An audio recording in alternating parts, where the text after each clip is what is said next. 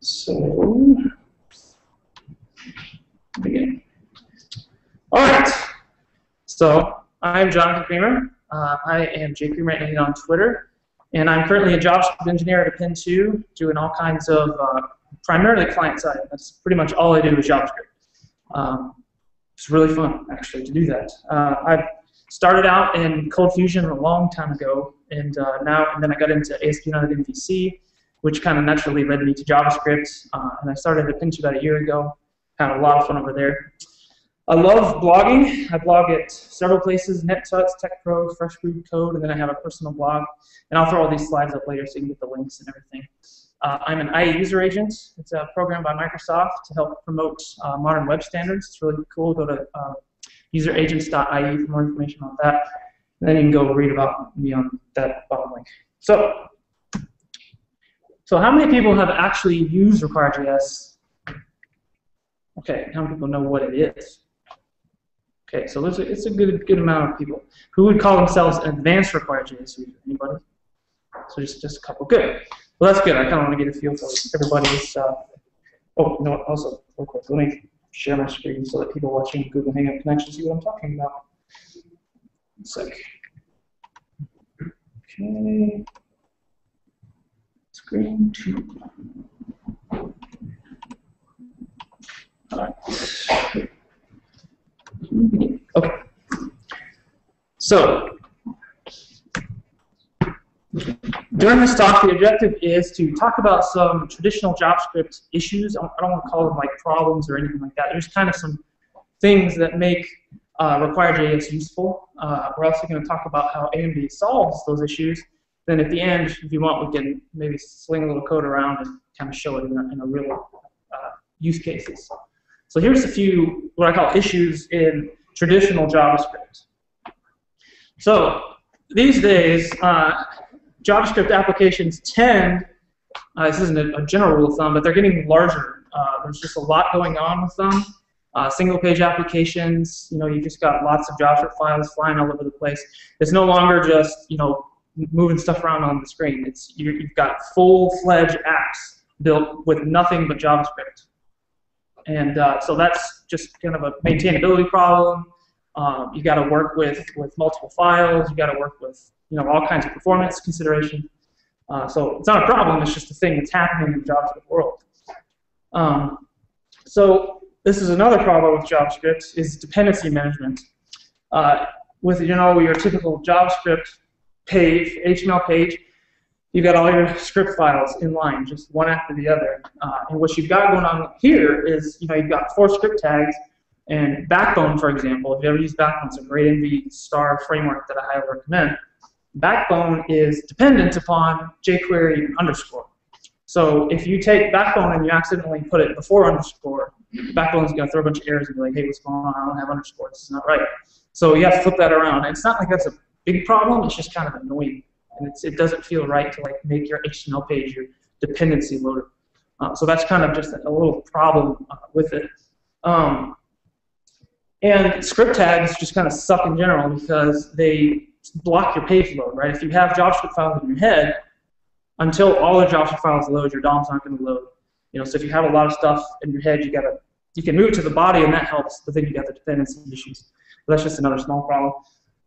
And another thing is, uh, if you put a bunch of inline script tags like this, you're going to have to, like, if you ever want to build and make like one single file out of all your JavaScript, you have to go in and replace all the references, do the minification, concatenating, and all that stuff. And there's lots of tools to do that, but Require.js has some stuff to help you do it, so we'll get to that. Uh, another problem with traditional JavaScript is globals. You know, the window, everybody knows what that is. You know, you've been dealing with that forever. Uh, Globals cause variable collisions. Um, you can clutter your window with tons of uh, just random variables that you don't want to do that. It's bad. It's a bad practice to use globals. So like for example here on the bottom slide, or bottom part of the code here, um, if you have script A and you say var some variable equals, and you're just, just writing that in your script file, you've just basically done the same thing saying window dot some variable. Like you just said everywhere in my application, in any JavaScript file, I now can use some variable, which is a complete fail Because if anybody else comes in and says, I want to use some variable, well, obviously that's a horrible name, but I've seen I've, I've seen it in practice where like this is terrible, but there was like var s equals for something that was site-wide for an application I was using, and we used a third-party library that also used var s equals something, and that just causes nasty, nightmarish bugs because you got to track it down. It's crazy. So that's kind of a problem with with, with global with uh, traditional JavaScript. Is that's the only way to communicate between files too. Because if you want script A to talk to B, you have to have a global variable or something, some way of communicating. So globals are the devil. That's that's basic rule of thumb. Is don't use them. They, they're you know just make your world not fun. Uh, another problem with traditional JavaScript is that you get into a situation where you'll have these just 20,000, 10,000 line JavaScript files that just became a maintainability nightmare. You're gonna just control F all the time, finding things and looking through, and, and, and that's just I don't know why that happened, but it just kind of does. After a while, you get these large applications, and they're just long and hard to deal with. So this is a guy flipping over a table, in case you've never seen that meeting before.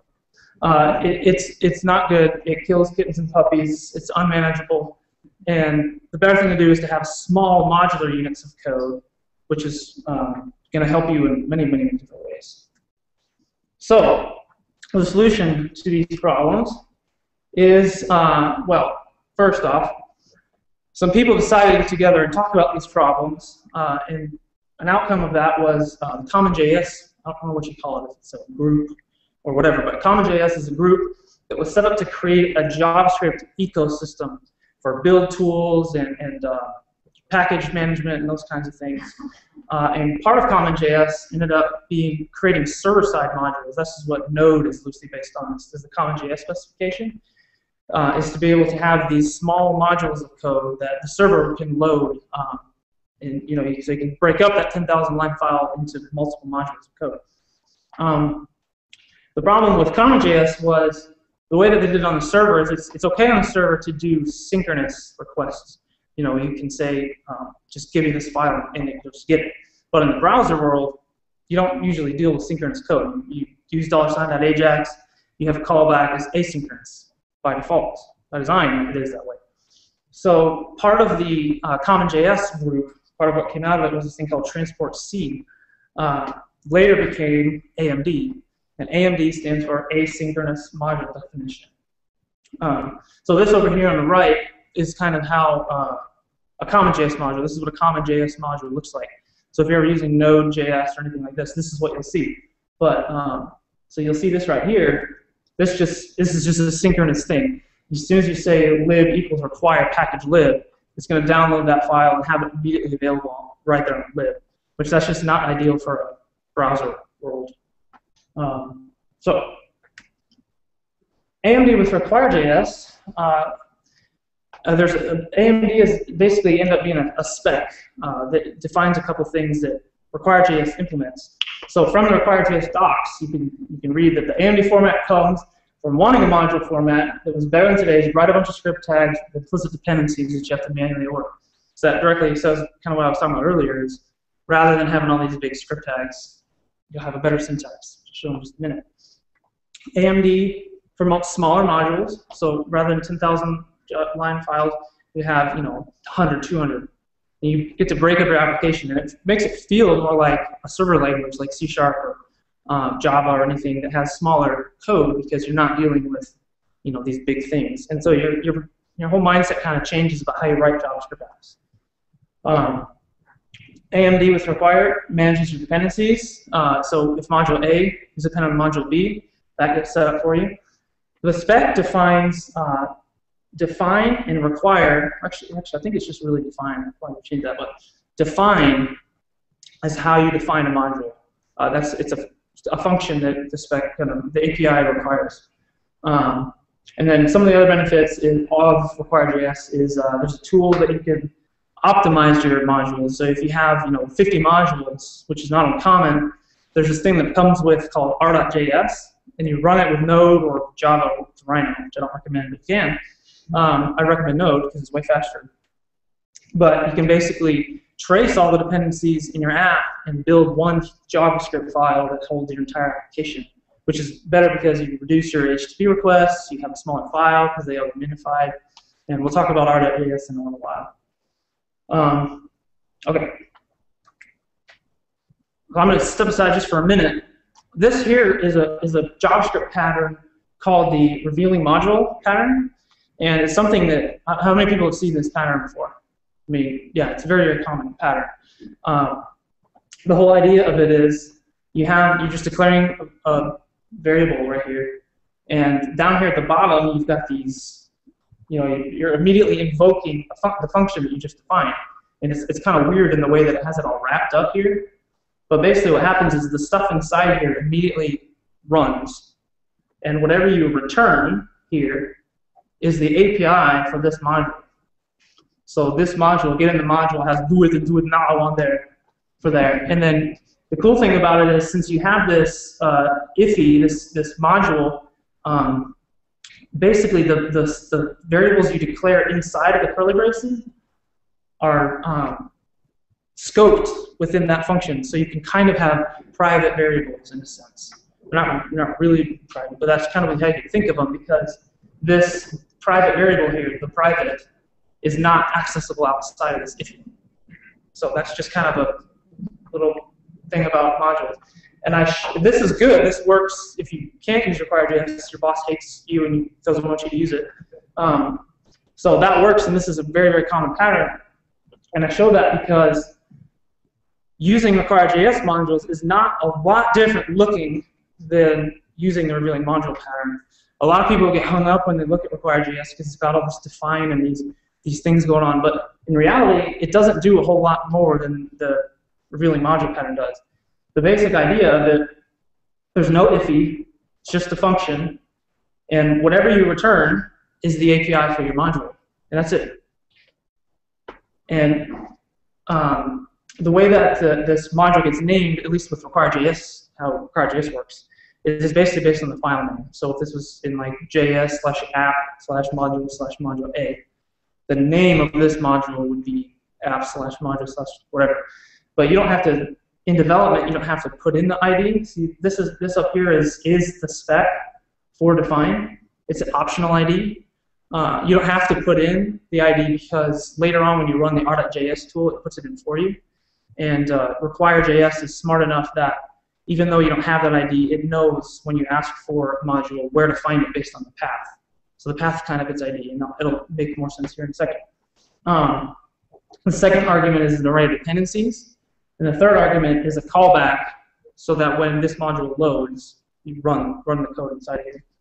Um, so again, in, in this in this case, no globals are being exposed here. This is all private.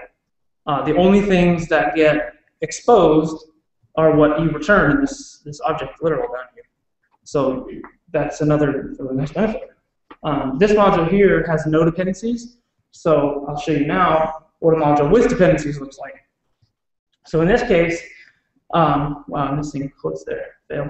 Um, what happens is your first argument to your define call is an array of other modules that this module is dependent upon. So here in this case, it would, it's just literally a path to the module. Uh, so this module here is dependent upon some slash module. And then what happens is when this module gets loaded, it goes and it grabs some slash module and however many other dependencies it has, and then brings them all down asynchronously, completely, you know, out of order and, asynchronously. But it loads them all in the order that you ask for them as uh, arguments to your factory function, your callback here. So, so this, this module comes back here as mod in this case. So whatever mod happens to return for its API, you can then use. Um, so say mod had do something on it, you can then use it. Uh, so that's nice because you can ask for a bunch of dependencies, and you don't have to. You just don't have to think about it. It's just like I just I know I need this, this, and this. So you might need jQuery or backbone and underscore. You just ask for those things, and they're immediately available in this module. Um, okay, so um, that is defined, and I want to point out that there's uh, there's lots of different ways that you can set up modules. Um, the first here is just a simple object literal, where literally I'm just setting up an object and returning that object literal. And again, this ends up being just the API for that module. Whatever you return is what this module exposes as its functions. So that's one way of doing it. Um, another way of doing it is you can actually return a constructor. So in this case, I'm setting up, you know, some module. This could be whatever you need. Uh, you can set up your prototype functions on it, like you would a normal JavaScript constructor, and then you can actually return just the constructor. And this is nice. This is kind of like a class, really, almost. So any other module that depends on this module can actually create an instance of that constructor. Right? So that's kind of one other thing you can do.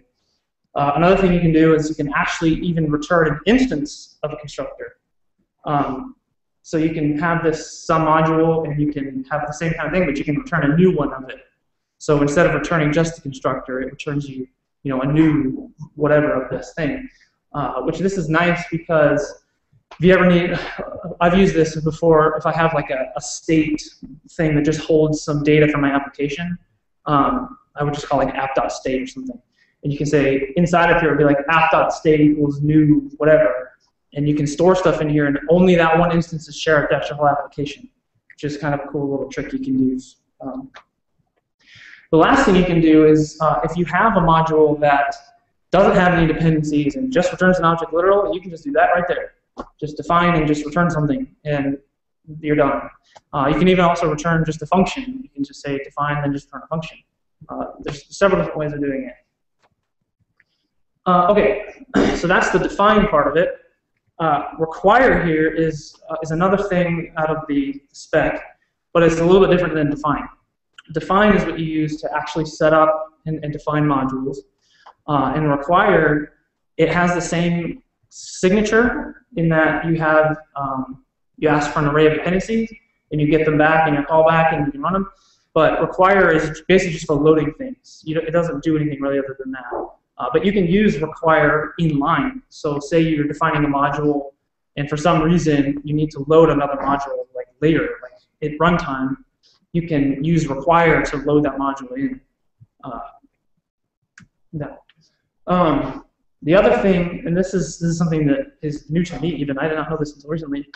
Um, so the inside of this here, uh, if you just ignore the define from it, this looks just like a common JS module, see how there's no array here. It's just a, you know, it's just asking for a module. Require.js has this cool thing you can do. If you're, maybe say you're using a node library and you want to import it to the browser, if you just wrap it with this define function and you ask for a require as a callback, you can actually use common.js uh, syntax as well. Um, Require.js does some really interesting hackery to make this work. Literally what it does, if you want to know is that it does a toString on this function and parses out all of your require calls and then sets up a dependency array for you anyway. So if you really like the common JS way of doing things, you can do that as well. Um, it's just a thing to know. Um, all right, so the basic way that you get require.js set up on a page, um, this is kind of how you do it typically on more of a single page application feel where you've just got like one JavaScript file and you're not loading up a bunch of pages. I mean, you can do this with a multi-page application, uh, but you'll, you know, if you have page code for your about and contact and all your pages, they'll be loaded on every page. But you know, that's just a thing. Uh, there are ways to do multi-page. Um, I don't talk about it in this talk, but in other talks, there are, are ways that you can do multi-page required.js where you can actually have different um, code depending on what page you're on. Like if I'm on my about page, I don't really want the code for my home page and my about page necessarily. But like I said earlier, a lot of our new JavaScript applications are single page, you know, Twitter, Gmail, these applications that are large things are all single page applications. Um, but anyway, so down here at the bottom, what you'll do to load require.js is just point to require.js, wherever it is in your directories, and then you have this data attribute, uh, HTML5 attribute that says the main module I want to load for my app is going to be, you're pointing it to a, a file, script slash main. You don't have to use .js because it's assumed you're going to be dealing with JavaScript modules. Um, but that's it, and that's how you, that's how you set up require.js. It's as simple as that. Um, So this is what the main, that data-main, this is the main.js here. Um, what you can do here is uh, you can set up a couple configuration variables. Um, and actually, let me jump back for a minute um, this main, I should also point out, since this is kind of the, the place uh, where, relative to where your main is, is where your other files are going to load right? So if all my scripts are in script slash main slash or script slash app, since so app slash modules or app slash models or app slash controllers, um, the wherever your main is, that sets up your base URL, uh, and that's just something to kind of kind of be aware of because that can can catch you in development. You're like don't understand where things are coming from. You have weird errors with modules not loading. Um, you have everything loads relative to where your main is. Just keep that in mind. Uh, so what I'm doing here is, is you can actually, in your main, you can set up a couple uh, configuration variables. One that's very common is to use this paths. And what paths is, is it's a way to um, alias common modules that you can have all over like jQuery here, for example. Um, this would maybe point to like script slash vendor slash jQuery. Uh, and then the bottom one here is if you have like, you know, some plugin, you want to alias it so that you don't have to type app slash model slash your mom slash whatever dot JS, you can use the that and that and there you're good. This is also really handy because for in this case, like if you're using jQuery or, or some version dependent file, rather than having to go through everywhere and like replace jQuery.1.9 with jQuery.2.0, you change it in one place and it changes everywhere. This is also really cool for unit testing because if you needed to, you could change one of your paths to some fake or some other thing so that you don't actually load jQuery, you can load some fake jQuery or something. Uh, but anyway, so down here at the bottom uh, is what I was saying before, is this is how you kind of typically kick off your app, is you'll do a require, and you're going to say, I want to get my app slash app.js file. And it's done, I want to run my app.init. So this might be what the app.js would look like. Uh, you would ask for jQuery, and maybe two other modules. In this case, all that the modules return are functions, just kind of for brevity. Um, but that's it. I mean, that's that's how you would set up a small, teeny tiny application that does nothing. But that's how you would basically start out a Require.js application.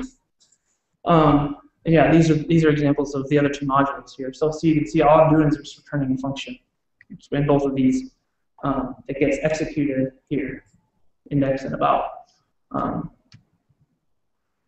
so another problem that was, I mean, when you're dealing with um, AMD, like you're going to say, well, what about all these libraries that aren't AMD compliant? I mean, not everything wraps itself with a define call as a module. Um, well, fortunately, uh, in one of the newer versions of required JS, they added this thing called a shim. And what this does is up here, I'm asking for Backbone. Backbone is not AMD compliant. You can't just use it well you can you can put it in there, but you'll have all kinds of loading issues because Require.js doesn't know what to do with it because there's no define call. It doesn't think it's a module. So to get around that problem, there's this shim object, and you basically just kind of you know you got backbone here. You say, well, here I want I want to shim backbone, and I want to make sure that when you ask for backbone, you're explicitly saying backbone is dependent on jQuery and underscore, and then the variable that backbone ex or that that the whatever exports is, right here in your exports. So you've got you know uh, here underscore you know a underscore is not even compliant either. So underscore exports underscore. Uh, and it even works, you know, even though I'm shimming underscore here, I can still use it as a dependency of backbone. So that's how you deal with that problem when modules or when uh, libraries are not AMD compliant. Um, this, let me tell you, was not fun to deal with a long time ago. It was so hard to do backbone uh, apps before this shim thing. So praise God that that's there now. Um, all right, so that's kind of the APIs for it. Uh, there's this optimizer thing called r.js uh, that comes with Require.js out of the box. And what it does is you, you define this little build file. Uh, it can get a little bit confusing, but a simple one is not that hard to deal with. Um, and what it basically does is it starts with your main, whatever whatever your main is, So in this case, it would just be like data or you know app slash main. And since require.js has all this dependency stuff, the r.js tool, what its purpose is, is it starts at main and it says, well, main is dependent upon jQuery and underscore and some module A. Well, some module A is dependent upon some module B, and then it does this whole full dependency tree thing, and it loads all those files in, and it concatenates them and minifies them into a single JavaScript file, or however you want. There's many different ways of setting it up, but that's what it does. Uh, it, it, takes all your JavaScript and gives you one single file for it, or however, however you set it up, like I said. But um, typically, you would you'd use it with Node, um, so that's what I would recommend. Um, and then the way you run it is you just say node, then you give it the path to your r.js, and then give it dash o, and point to your app.build, and then it just does its magic. Uh, it's really, really, really handy. So that is require.js. Um, I don't know much about JavaScript. When I do, I use require.js. Um, I, I'm a huge fan of require.js. Um, I, I want to go over some, some code now and kind of show uh, a little bit how it works in, in actual practice. Um, let's get that mouse over here. I love that picture. Okay, so this is going to be kind of hard. Oh wow, that's not going to work at all, is it? Hang on a minute. Solarize light. Yeah, that's not going to work at all. Come on. Uh,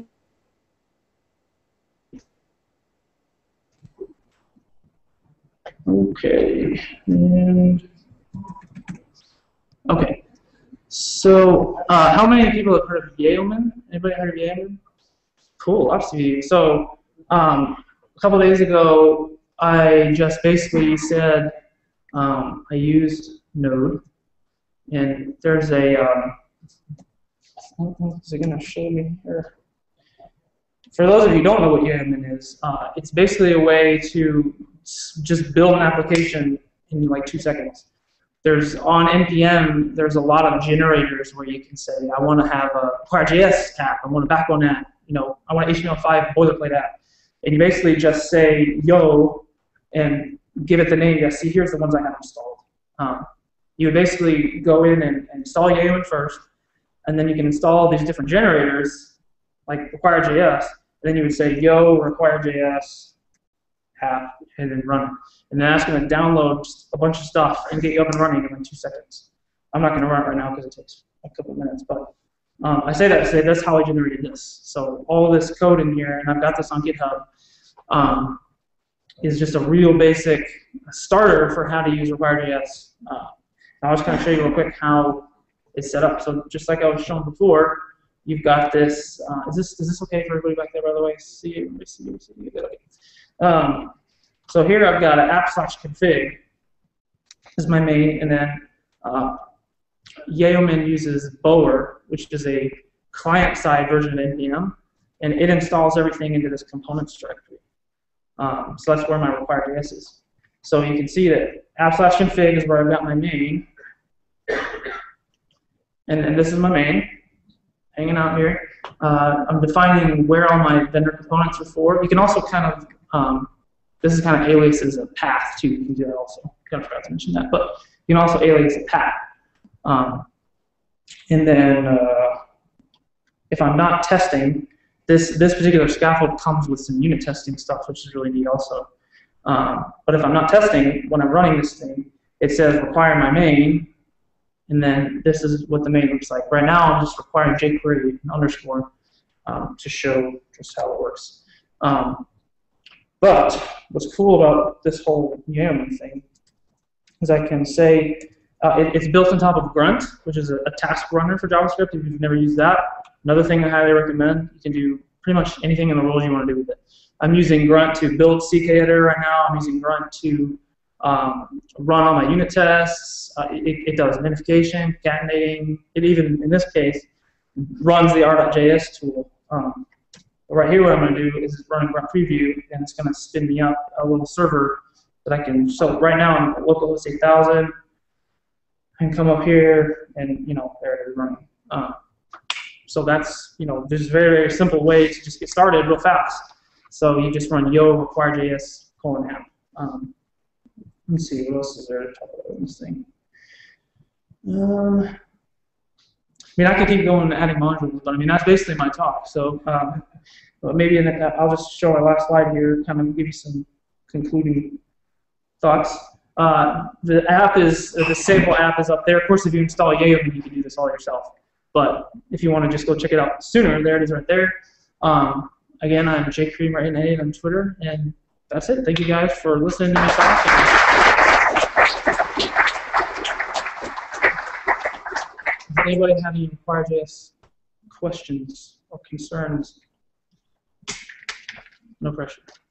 Just curious. Cool deal. Well, I guess I'll trip up and say that um, the syntax that he showed, where you um, you basically specify require as the only dependency to a uh, closure that you're passing into another require. It's a little confusing, but you can basically copy paste the entry point for any node app Yeah. into that closure, and then it'll just, I mean, as long as you point it to the right place, um, It'll then it'll run that node app in your browser. So it really makes, I mean, a lot of node developers are like, man, I just really want to run my new, my new step in the browser. Yeah. But that's all you really have to do. And if you're if that's too complicated for you, there's another uh, uh, node project that's that's built on Require.js or takes a lot of uh, views from Require.js called Browserify uh, that that does a lot of the same stuff. Cool. Anybody else have any questions about it? I did, uh, I did some research on the Require library about a month and a half or so ago, um, and I looked at, uh, about half a dozen of them. How would you compare Require to stuff like yepnope or Pan.js or Head.js, that sort of thing? Um, are those ones actual AMD loaders? Because I know that there's what is that? Can't remember the other one. There's another um, actual AMD one, but I know um, Head I think just basically loads files asynchronously. It doesn't actually do the AMD stuff. Um, but there are a couple other AMD compliant libraries. I can't remember what the one is right now. But anyway, um, this one in comparison to the other ones I've looked at, it's just a it's got a lot of nice stuff. Like that CommonJS stuff, not everybody has that. Um, that's a really nice to have. It's not like you're going to use it every day, but it's like sometimes you're like, oh, I kind of want to use a CommonJS module, and that's good to have. The optimizer is one of my favorite pieces of it. Um, I can run it real fast. It takes forever. Uh, right now, for some reason, I think because I'm doing the Google Hangout, it doesn't usually take this long. This is what it looks like. Um, I would run Grunt. Actually, this one's just Grunt. So this will kind of show you what Grunt does too. Um, Grunt, see how I just linted all my files. Uh, this is what Grunt's doing. I just concatenated them all. Oh, it's going really fast this time. Uh, so this is the part where the Require.js optimizer is running. So you can see what it what it did is it started tracing my dependencies, and it found jQuery underscore and main and config, and those are all the dependencies in my app. And did that, did that just by you know following along with my modules, which is really really handy. And then what it's doing here is it's concatenating them all together, and then it's uglifying, so minifying and you know making this one small file and acquiring JS. Uh, anyway, that'll keep running for a minute. Uh, but that's that's one of my favorite pieces of Require is the optimizer, because there's no better way to just take a bunch of files and make them as one for for production for distribution. So yeah, there it is. So it took all it took it uncompressed of this and minified it all the way down to that. So that's pretty impressive, really. 379k down to 25k gzipped. So that's that's what Require.js buys you just out of the box. You know, you don't have to do anything hardly. Especially if you use. If you use Yeoman and you spin up an app and you just go with it, you can. I mean, this comes. You just run grunt and you're done. Um, so that's kind of why I, wanted to show this all that that Yeoman thing, just to get everybody to the point where you can just start and go. Because there's a little bit of hang up sometimes with getting started. It's really easy with this Yeoman stuff. Uh, you know, anybody can do it in two minutes. So if there's no more questions, we'll just kind of hang out and have some fun and eat more food and drink more beer, I guess. We're out of a minute here. Oh, well, let's just talk more jobs. Oh, what's up? I had a question. That uh, preview task that you showed with Brian, Yes. is that a new one with the dot four release? I was- Uh, no, it's so, I'll show you. It's, um, in this case, it's just, um, grunt. No, well, it's, it's, it's built in here. Uh, let's see. It's using a Connect server. And so basically, I mean, that's it. It just, it just runs a Connect server and spins up, serves up whatever's in your, in your project directory. So, and then down here at the bottom, you can see where I've got my task set up. Yeah, so does it, my question, I guess, is does it, um, how does it handle, like, if you're doing CoffeeScript or like, uh, like Breezy Less or Compass or something like that, where you need, you need to process your files? Um, for Grunt, uh, my I haven't I haven't, don't do a lot of coffee CoffeeScript, but there's pretty much uh if you can think of something you want to do with Grunt, somebody has probably already done it. Is is pretty much the rule of thumb. So I can guarantee you that if you go to gruntjs.com and you look at the plugins, somebody has a Grunt CoffeeScript plugin. There's probably one. All these Grunt dash contribs are like the the main ones that the people who write Grunt make. So any of the other ones, is probably Grunt coffee script stuff uh, all over the place. But that's how it would work. Is is you'd have a task, and it would you you you'd load it in. It'd be I'm just guessing here, but it'd be something like um, you know load npm grunt coffee script, and then down here in your task run where you specify what tasks you want to run, you'd have like coffee or whatever. Yeah, what I've done in the past is it like, it'll compile those to a temp directory, and then your next server will actually serve out of the temp directory. Oh yeah, and that yeah your- That watch task will watch. Yeah. Copy files and files. I just didn't know if that preview was a new built-in. No, no. No, well that's it came with the new scaffolding thing, but yeah, nothing weird going on there. So okay, cool. Well, thanks guys. This was fun.